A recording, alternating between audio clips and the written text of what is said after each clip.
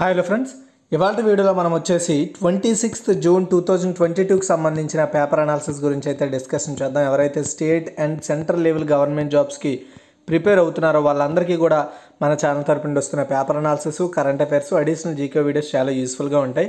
కాబట్టి ఈ వీడియోని ఎండ్ వరకు చూడండి. మీకు నచ్చితే లైక్ చేసి షేర్ చేసి మరిన్ని అప్డేట్స్ కోసం మన ఛానల్ని రెగ్యులర్గా ఫాలో అవుతూ ఉండండి. ఈరోజు మన ఫస్ట్ ఆర్టికల్ కానీ గమనించినట్టయితే Miss India worldwide two thousand twenty టూగా ఖుషీ పటేల్. మీరు గుర్తుపెట్టుకోవాలి టైటిల్ ఏమైనా ఉంది? Miss India worldwide.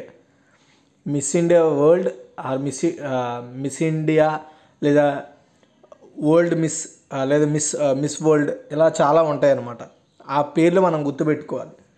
చూడండి బ్రిటన్కి చెందిన బయోమెడికల్ విద్యార్థి Khushi Patel Miss India worldwide two two thousand twenty two విజేతగా నిలిచారు. భారత్ బయట సుదీర్ఘకాలం ఇరవై తొమ్మిదేళ్ళుగా ఈ అందాల పోటీలు నిర్వహిస్తున్నారు. ఈ మేరకు విజేతల వివరాల నిర్వహణ సంస్థ ఇండియా ఫెస్టివల్ కమిటీ అనౌన్స్ చేసింది. అమెరికాకు చెందిన వైదేహి డొంగరే డొంగ్రే మొదటి రన్నరప్గా గాను శృతిగా మనే రెండో రన్నరప్గాను ఎంపికయ్యారు. పోటీల్లో ముందు వరుసలో నిలిచిన పన్నెండు మంది ప్రపంచవ్యాప్తంగా అనేక పోటీల్లో విజేతలైన వారు కావడం విశేషం. ఖుషీ పటేల్ ఓవైపు బయోమెడికల్ సైన్సెస్ సైకాలజీ కోర్సులు చేస్తూనే మరోవైపు మోడల్గాను రాణిస్తున్నారు. ఆమె సొంతంగా వస్త్రాల దుకాణాన్ని సైతం నిర్వహిస్తున్నారు. Miss India worldwide two thousand twenty two విజేతగా ఎంపిక కావడం పట్ల ఆమె ఆనందం వ్యక్తం చేశారు. రానున్న రోజుల్లో సేవా కార్యక్రమాలు నిర్వహిస్తూ తృతీయ ప్రపంచ దేశాలకు సాయం చేయాలని ఆమె నిర్ణయించుకోవడం జరిగింది. అయితే Miss in Miss teen India worldwide two thousand twenty two విజేతగా ఎంపికయ్యారు ఆమె. ఎవరు? రోషిని రజాక్. అండ్ నవ్య పాయింగోల్ అమెరికా మొదటి రన్నరప్గా చికితా మలహా సురీనామ్ రెండో రన్నరప్గా నిలవడం జరిగింది. ఇంతవరకు గుర్తుపెట్టుకుంటే సరిపోతుంది. ఏంటండి Miss India worldwide two thousand twenty two and Miss teen India worldwide two thousand twenty two విజేత వచ్చేసి Roshni Razak. And Miss India worldwide two thousand twenty two Khushi Patel. చూడండి సో వినోద రంగంలోకి పిల్లలకు రక్షణ వ్యవస్థ. వినోద రంగంలో అంటే ఏంటి? ఎన్ ఎంటర్టైన్మెంట్ డిపార్ట్మెంట్లో లేదా ఎంటర్టైన్మెంట్ ఎంటర్టైన్మెంట్ సెక్టార్లో పిల్లలకంటూ రక్షణ ఉండాలి.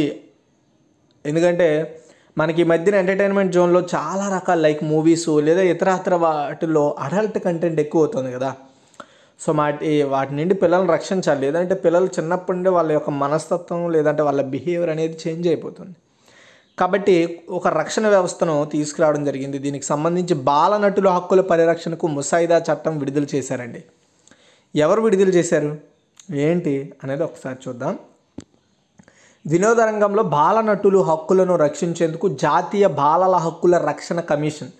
దీన్ని మనము ఎన్సిపిసిఆర్ అంటారండి. ఎన్సిపిసిఆర్ అంటే ఇది నేషనల్ వైడ్గా బాలల హక్కులను రక్షించే ఒక కమిషన్ అనమాట ఇది వీటి కోసం ఒక రక్షణ ముసైదా ముసైదా మార్గదర్శకాలను విడుదల చేసింది. షూటింగ్ల సమయంలో బాలలు శారీరక మానసిక ఒత్తిడికి గురి కాకుండా ఆరోగ్యకరమైన వాతావరణం కల్పించాలని నిర్మాతలను ఆదేశించింది. TV programmes serials reality shows news and information medias సినిమాలు ఓటీటీ వేదికలు సామాజిక మాధ్యమాలు ప్రకటనలతో పాటు అన్ని వాణిజ్య వినోద రంగాల్లో పనిచేసే బాలలందరికీ ఈ ముసాయిదా చట్టాన్ని తీసుకొచ్చారు. బాలల హక్కుల రక్షణకు వివిధ చట్టాలు ఉన్నా పెద్దవాళ్ళ ఆధిపత్యం ఉండే వినోద రంగంలోని బాలనటుల కోసం ప్రత్యేక నిబంధనలు ఇప్పటివరకు లేవు. కాబట్టి ఇప్పుడు ఈ ఎన్సీ పీసీఆర్ వచ్చేసి ప్రత్యేకంగా దాని మీద చొరవ తీసుకుంది. ఈ మేరకు నియమించిన కమిటీ రెండు వేల పదకొండులో ఇచ్చిన మార్గదర్శకాలకు వివిధ సవరణలు చేస్తూ వచ్చారు. తుది మసాయిదులో ఏముందో ఒకసారి చూద్దాం. వీళ్ళు తీసుకొచ్చినామంటే బాలనటుల సంరక్షణ కోసం వీళ్ళు తీసుకొచ్చిన ముసాయిదా. అంటే అంటే చట్టం కాబోతున్న కొత్త చట్టం కాబోతున్న ఈ ముసాయిదాలో ఏమేమి ఉన్నాయో ఒకసారి చూద్దాం. పిల్లలను షూటింగ్కు తీసుకెళ్ళే ముందు జిల్లా మెజిస్ట్రేట్స్ అనుమతి తీసుకోవాలి. వారిని దోషంలో పీడనకు గురి కాకుండా చూస్తామంటూ హామీ ఇవ్వాలి. బాలలు వరుసగా ఇరవై ఏడు రోజులు పని చేయకూడదు. రోజుకు ఒక షిఫ్ట్ మాత్రమే పని చేయాలి. ప్రతి మూడు గంటలకు ఒకసారి రెస్ట్ ఇవ్వాలి. పిల్లల ఆదాయంలో ఇరవై శాతం మొత్తాన్ని వారి మైనారిటీ తీరాక వారికి అందేలా జాతీయ బ్యాంకుల్లో ఫిక్స్డ్ డిపాజిట్ చేయాలి. పిల్లల చదువులకు ఎలాంటి ఆటంకం కలగరాదు. షూటింగ్ల సమయంలో వారికి ప్రైవేట్ ట్యూటర్ను కూడా నియమించాలి. పిల్లలు శారీరక మానసిక పురోగతిపై ప్రభావం చూపే పాత్రను వారికి ఇవ్వకూడదు. మద్యం ధూమపానాలు అలవాటు పడేలా ఉండే ఇతర అసాంఘిక కార్యకలాపాలు ఉండే సన్నివేశాల్లో వారిని నటింపజేయకూడదు. దుస్తులు మార్చుకోవడానికి పిల్లలకు ప్రత్యేకంగా రూమ్స్ ఉండాలి. షూటింగ్ ఎన్విరాన్మెంట్ ఆరోగ్యకరంగా ఉండేలా చూసుకోవాలి. చర్మానికి హాని కలిగించే లైట్లు వెలుగులకు బాలలను దూరంగా ఉంచాలి. హానికారక మేకప్ కూడా వాడొద్దు. నిబంధనలు ఉల్లంఘిస్తే కఠిన చర్యల్లో భాగంగా జైలు శిక్షలతో పాటు భారీ జరిమానాలు కూడా ఉంటాయని చెప్తున్నారు. ఇది ఈ రూల్స్ అన్నమాట. తర్వాత హిమాలయాల్లో అరుదైన మాంసాహార మొక్క అండి.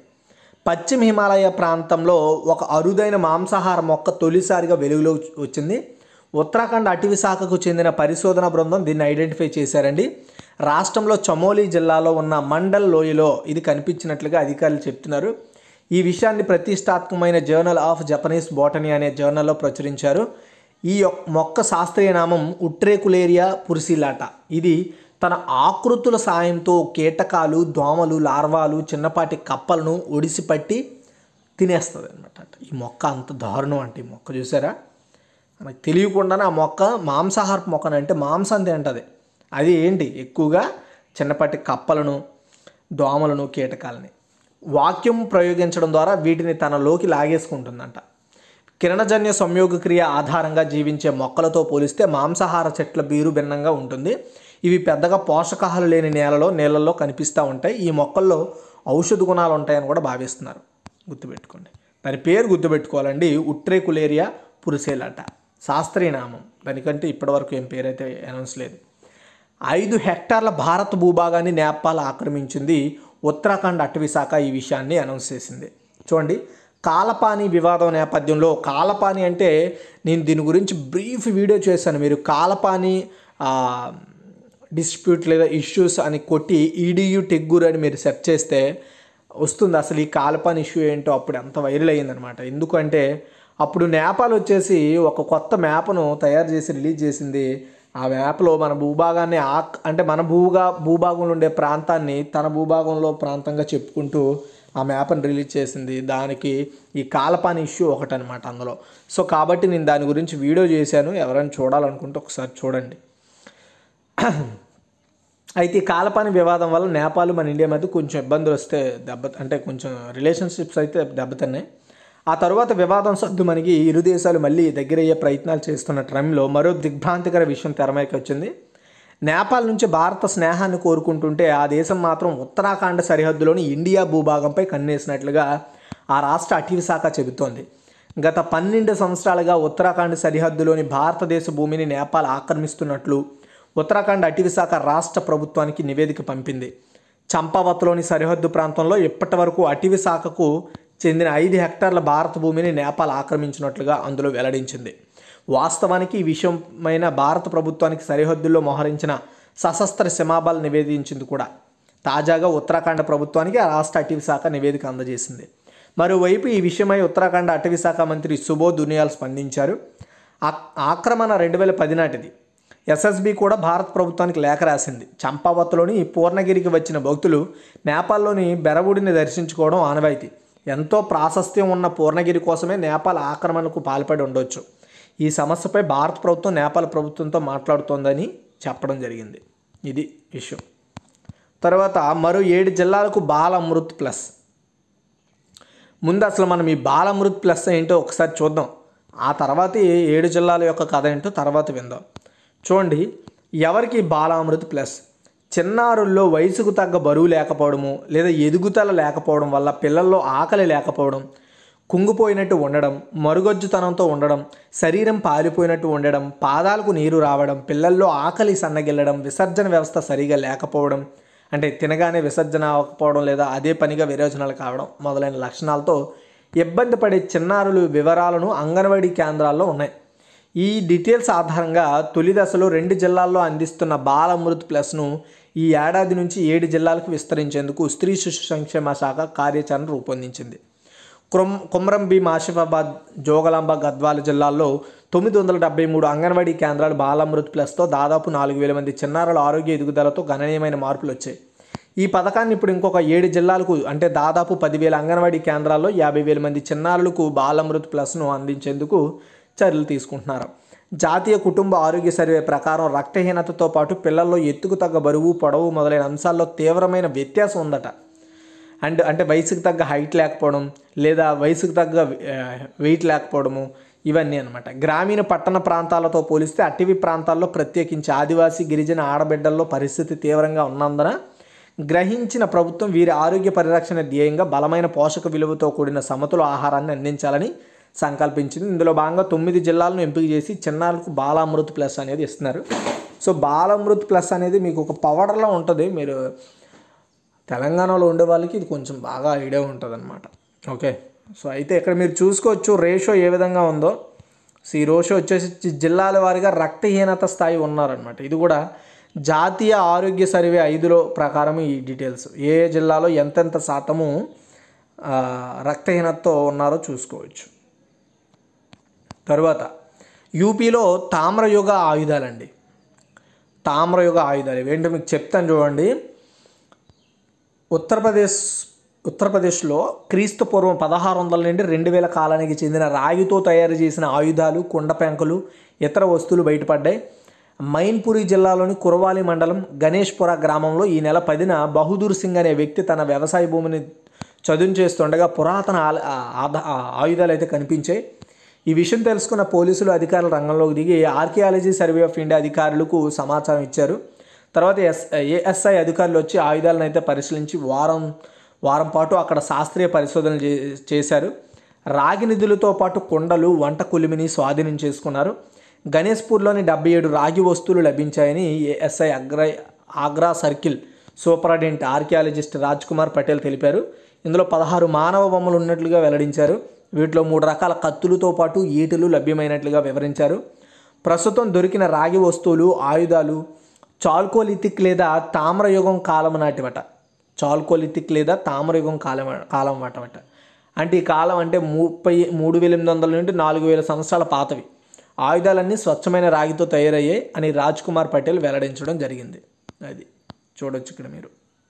పూర్తి రాగితో తయారు చేశారు. ఆ టైంలో ఇంత అంటే నాలుగు వేలు మూడు వేల ఎనిమిది వేల మూడు వే మూడు వేల ఎనిమిది వందల సంవత్సరాల క్రితం ఈ స్థాయిలో తయారు చేయడం నిజంగా ఆశ్చర్యకరమైన విషయం. తర్వాత తెలుగును సంస్కృతంలోకి అనువదించే సాఫ్ట్వేర్కు పేటెంట్ అండి. సో ఇది ఇంపార్టెంట్ అని చెప్పలేము అలానే ఇంపార్టెంట్ కాదని కూడా చెప్పలేము. మధ్యస్థ వార్త అన్నది తెలుగును సంస్కృతంలోకి అనువదించే సాఫ్ట్వేర్కు కేంద్ర ప్రభుత్వం పేటెంట్ ఇచ్చింది. దీన్ని శ్రీ పొట్టి శ్రీరాములు నెల్లూరు జిల్లా కావలికి చెందిన ప్రొఫెసర్ తీయబిండి కామేశ్వరరావు డెవలప్ చేశారు. ఆయన గుంటూరులోని వివిఐటి కంప్యూటర్ విభాగంలో పనిచేస్తున్నారు. తాను రూపొందించిన సాఫ్ట్వేర్పై కేంద్రానికి రెండు వేల పదహారులో అప్లై చేయగా సో ఇటీవల పేటెంట్ అనుమతి వచ్చింది. ఇదే సాంకేతికతను ఆధారంగా చేసుకుని సంస్కృతాన్ని మరిన్ని భాషల్లోకి అనువదించే సాఫ్ట్వేర్ను డెవలప్ చేస్తామన్నారు.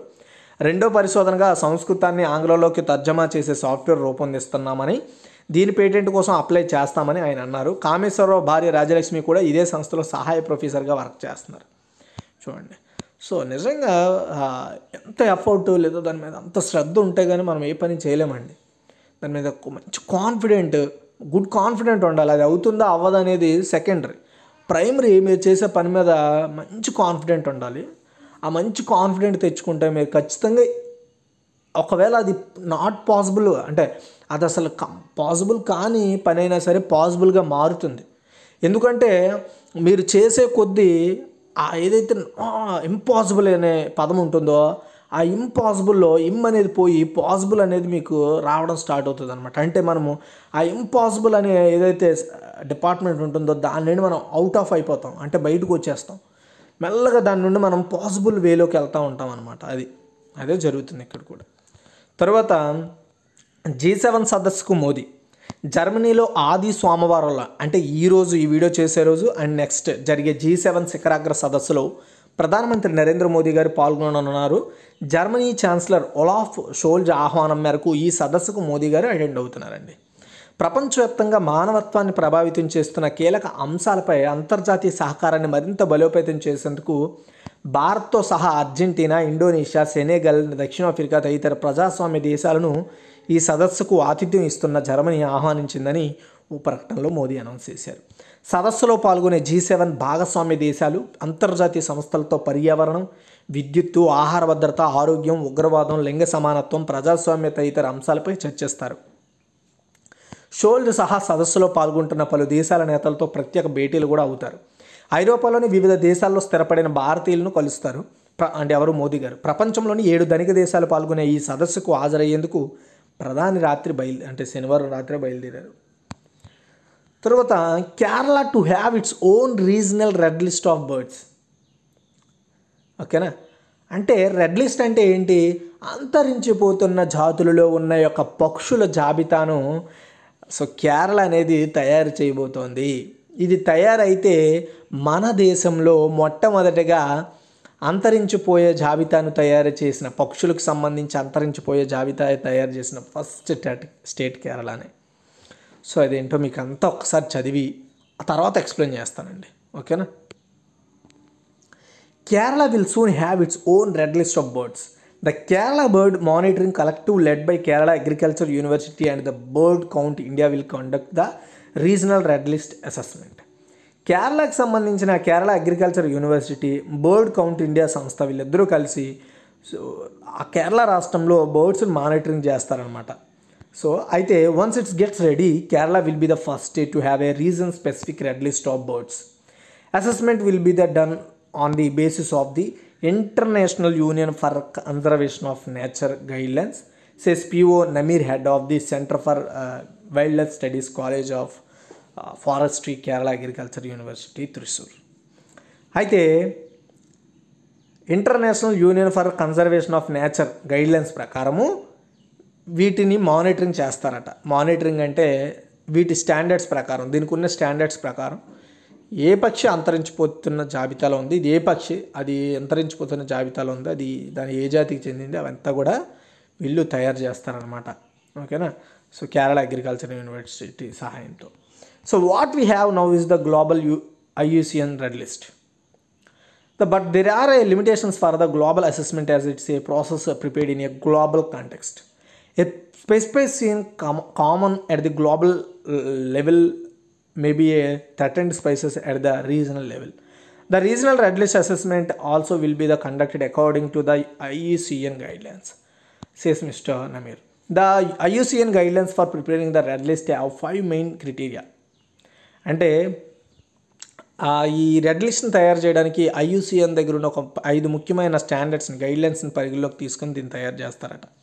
The population size reduction measured over ten years or three generations is one of the major guidelines geographic range on the basis of context of occurrence or area of occupancy is another small population size and decline disline very small or restricted population and quantitative analysis indicating the probability of uh, extension in the wild or the other criteria అంటే వాటి వయసు ఆధారంగా లేదా వాటి విస్తరణ ఆధారంగా లెక్క కడతామని చెప్తున్నారు. According to the global IUCN red list Kerala has thirty five threatened species of birds అయితే కేరళ కాకుండా ఇప్పటికే ఐయుసిఎన్ దగ్గర ఉన్న లిస్ట్ ప్రకారం కేరళలో ముప్పై ఐదు స్పైసెస్ జాతులు పక్షు జాతులు అంటే ప్రమాదకర స్థితిలో ఉన్నాయంట. In that red handed vulture and white rumped vulture are critically and endangered అనమాట ఈ red headed vulture and white rumped vulture ఈ ఎక్కువగా ప్రదా ప్రమాదకర స్థితిలో ఉన్నాయి. Steppe eagle and Banasura Chilappan and Nilgiri Chilappan are endangered and eleven species are vulnerable this is the list according to the global assessment there may be changes at the regional level అయితే ఇది అంతర్జాతీయంగా ఉన్న list అయితే regional level అంటే కేరళ చేపట్టబోతున్న వాటిలో పెద్దగా changes ఏమి ఉండవని చెప్తున్నారు. సో అండ్ పెద్దగా చేంజెస్ ఏవి ఉండవని మన అభిప్రాయం ఉండకపోవచ్చు. ఎందుకంటే ఆల్రెడీ ముప్పై ఐదు ప్రమాదకర స్థితిలో ఉన్న పక్షుల గురించి ఆల్రెడీ ఐయూసీఎన్ ఐడెంటిఫై చేసింది కాబట్టి. The Kerala bird monitoring collective is the planning to prepare the red list of the state in a year. It will be డీక్రమ decentralised process like how the Kerala bird atlas was prepared. యాక్చువల్గా దీన్ని కేరళ అట్లా bird atlas అంటారు. Atlas అంటే ఏంటి? ఒక ఒక particular ఒక జాతో లేదంటే ఏదో ఒక పర్టికులర్ విషయం గురించి పూర్తి స్థాయిలో తెలియజేయడం. We already have a good amount of data on the basis on the Kerala bird atlas conducted as a citizen సైసెస్ driving exercise with participation of our thousand volunteers of the bird watching community the atlas prepared between two thousand fifteen and two thousand twenty provide as a solid base baseline data about distribution and abundance of various bird species in the state, says Mr. Namir, who coordinator in the atlas project యాక్చువల్గా already రెండు వేల పదిహేను నుండి రెండు వేల ఇరవైకి సంబంధించి Kerala bird అట్లాస్ని అయితే తయారు చేస్తుంది. అండ్ కేరళ బర్డ్ అట్లాస్ని తయారు చేసిన ఫస్ట్ స్టేట్ కూడా అదే. ఇప్పుడు రెడ్ లిస్ట్ని తయారు చేయబోతుంది. ద కేరళ బర్డ్ అట్లాస్ అకౌ accounts for nearly 3 lakh records of uh, 361 spices in the cloud in 94 very rare spices 103 rare species and uh, 110 common spices 44 very common spices and 10 most uh, abundant spices according to the atlas most of the endemics are concentrated in the western ghats while the threatened spices are situated mostly along the coast so ఎక్కువగా western ఘాట్స్లోనే ఇవి నివసిస్తున్నాయంట ఇప్పుడు చెప్పిన ఏవైతే Kerala birds atlas ఏదైతే ఉందో అట్లాస్లో already మూడు వందల అరవై ఒక్క జాతులను ఐడెంటిఫై చేశారు. ఇప్పుడు అందులో రెడ్ లిస్ట్ను కూడా ఐడెంటిఫై చేయబోతున్నారు. Karnataka announces three names for a first Kempegowda award. అయితే కర్ణాటక వచ్చేసి ఈ రెండు వేల ఇరవై రెండులో ఆ రాష్ట్రము ఫస్ట్ టైం ఒక కెంపగౌడ్ అవార్డును అయితే ఇంటర్నేషనల్ కెంపగౌడ్ అవార్డులను ప్రకటించబోతోంది. దీనికి ఒక ముగ్గురు నేములను అనౌన్స్ చేసిందనమాట ఫస్ట్ టైం ఈ అవార్డులను కర్ణాటక ఇవ్వబోతోంది. దానికోసం ముగ్గురు ఎంపిక చేసింది. అదేంటో చూద్దాం. The Karnataka government has selected the former Karnataka chief minister S M Krishnan and Infosys founder N R Narayana Murthy and former Indian badminton player Prakash Padukone for the Kempegowda international award constituted in honour of Kempegowda founder the founder of Bengaluru అయితే Kempegowda international అవార్డుని అయితే ముగ్గురికి announce చేశారు. ఒకరు కర్ణాటక మాజీ ముఖ్యమంత్రి S M Krishnan and Infosys founder N R Narayana Murthy and former అంటే మాజీ ఇండియా బ్యాడ్మింటన్ ప్లేయర్ ప్రకాష్ పదుకునేకి అవార్డు ఇవ్వబోతున్నారు. Minister for higher education C N Ashwath Narayan who is also vice president of the Nadaprabhu Kempegowda heritage area development authority announced that international award would be presented to the three achievers every year starting this year in the name of Kempegowda యాక్చువల్గా ప్రతి సంవత్సరం ముగ్గురికి ఈ అవార్డుని ఎంపిక చేసి ఇస్తారు and ఈ రెండు వేల ఇరవై రెండు నుండే స్టార్ట్ కాబోతోంది ఓకేనా ఎంతవరకు తెలుసుకొని చాలు. సో ఓకే అండ్ సముద్ర సంపదపై సాంకేతిక నేత్రం అండి. ఇది ఆల్రెడీ మన ఇండియా తీసుకొచ్చిన ఒక ప్రాజెక్ట్కి సంబంధించిన ఆర్టికల్ అనమాట ఆ భారత ప్రభుత్వం ఒక ప్రాజెక్ట్ని తీసుకొచ్చింది. ఆ ప్రాజెక్ట్ ఏంటి? సముద్రానికి ఆ ప్రాజెక్ట్కి సంబంధం ఏంటి? ఏం చేయబోతున్నారు అనేది ఈ వీడియో ద్వారా మీకు ఎక్స్ప్లెయిన్ చేస్తాను. జాగ్రత్తగా వినండి. సముద్ర గర్భంలో దాగిన అపార ఖనిజ వనరులను వెలికి తీసి సుస్థిర వినియోగంలోకి తీసుకురావడం ద్వారా దేశ ఆర్థిక వ్యవస్థను బలోపేతం చేయాలని ప్రభుత్వం భావిస్తుంది. అంటే సముద్రంలో ఉండే ఏదైతే విలువైన ఖనిజాలు లేదంటే ఇంకా ఇతర ఇతర విలువైన వస్తువులు ఏమైనా దొరికినా వాటిని వెలికి తీయడం కోసం ఒక ప్రాజెక్ట్ని అయితే చేపట్టబో చేపట్టింది భారత ప్రభుత్వం. ఇందులో భాగంగానే సముద్రయాన్ ప్రాజెక్ట్ని స్టార్ట్ చేశారు. సముద్రయాన్ గుర్తుపెట్టుకోండి. గత ఏడాది కేంద్ర ప్రభుత్వం జాతీయ సముద్ర సాంకేతిక పరిజ్ఞాన సంస్థ ఎన్ఐఓటి ఇస్రోల ఆధ్వర్యంలో ఈ కార్యక్రమం రూపుదిద్దుకుంది. రెండు వేల ఇరవై నాలుగులో తుది ప్రయోగానికి సిద్ధమవుతుంది. ఇందులో విజయం సాధిస్తే సముద్ర గర్భాల అన్వేషణలో రాణిస్తున్న దేశాల సరసన మన ఇండియా కూడా ఉంటుంది. ఇప్పటికే ఈ దిశగా అడుగులు వేసిన అమెరికా ఫ్రాన్సు చైనా జపాన్ రష్యాలతో పోటీ పడేందుకు మన దేశం చురుగ్గా ముందుకు కదులుతోంది. అంతరిక్ష రోదసి ప్రయోగాలతో ప్రపంచ దేశాల్లో మనం కూడా ఒక ప్రత్యేకమైన స్థానాన్ని సంపాదించుకున్నాం. అదేవిధంగా సముద్రాల్లో కూడా జలవన్వేషణలో మనం కూడా ఒక పేరుని సంపాదించుకోవడం చాలా ఇంపార్టెంట్ కదా. సో అందుకోసమే శాస్త్రవేత్తలు మానవ సహిత సముద్ర జలవేషణ వాహనం మత్స్య ఆరు వేలను రూపొందించారండి. అంటే సముద్రాల్లో ఉండే వాటిని వెలికి తీయడం కోసం ఒక వెహికల్ తయారు చేశారు. దాని పేరు మత్స్య ఆరు వేలు సముద్ర గర్భాన్ని ఆరు వేల అడుగుల లోతున అన్వేషించే లక్ష్యంతో దీన్ని తయారు చేశారు. ఇది గురుత్వాకర్షణ తప్ప మిగతా విషయాల్లో అంతరిక్ష వ్యోమగాములకు పోలి ఉంటుంది. అంటే ఇది గురుత్వాకర్షణ కలిగి ఉంటుంది వెహికల్ మిగతాదంతా కూడా అంతర్ మనం స్పేస్ వెహికల్స్ లాగే ఉంటుంది ఇది కూడా. అండ్ ముగ్గురు ఆక్వానాట్స్ను ఒకేసారి ఆరు వేల మీటర్ల లోతుకి తీసుకెళ్ళగలదు ఇది. సముద్రం అడుగున ఉండే విపరీతమైన ఒత్తిడిని తట్టుకునేందుకు దీని వీలుగా ఇస్రో ఈ క్యాప్సూల్స్ తయారీలో టైటానియం లోహాన్ని ఉపయోగించింది. ఇస్రో తయారు చేసిందండి ప్రస్తుతం హిందూ మహాసముద్రం బంగాళాఖాతంలో ప్రయోగ పరీక్షలు నిర్వహిస్తున్నారు. రెండు వేల ఇరవై నాలుగుకి పూర్తి స్థాయిలో సముద్రం అడుగు భాగానికి చేరుతుందట ఇది. సముద్ర ఉపరితలంతో సంబంధాలు లేకుండా రిమోట్ సాయంతో దీన్ని సొంతగా మన పనిచేసే మత్స్యలో అత్యవసర సందర్భాల కోసం తొంభై ఆరు గంటల పాటు ఆక్సిజన్ సరఫరా జరిగే ఏర్పాట్లు కూడా చేశారు. ఇందులో ప్రయాణించే వాళ్ళకు వ్యోమనౌకల తరహాలో ప్రత్యేక సూట్లు కూడా అవసరం ఉండదు. సాధారణ ఆహారాన్ని తీసుకోవచ్చు.